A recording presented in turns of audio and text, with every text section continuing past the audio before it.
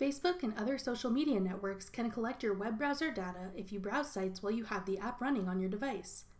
If you're tired of seeing targeted ads on Facebook based on your browsing activity, this video is for you.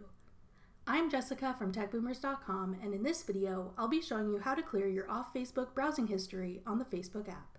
Now let's get started. To begin, launch the Facebook app and tap the menu icon at the bottom right corner. Scroll down to the bottom and tap Settings and Privacy. Select Settings. Scroll down to the Media and Contacts section and select Browser. Finally, tap Clear Browsing Data. This will remove your browsing data from your Facebook account, and you'll no longer see ads based on your past browsing activity. We'd recommend clearing your browsing history frequently. That's all it takes to clear your off-Facebook browsing history from Facebook. Thanks for watching.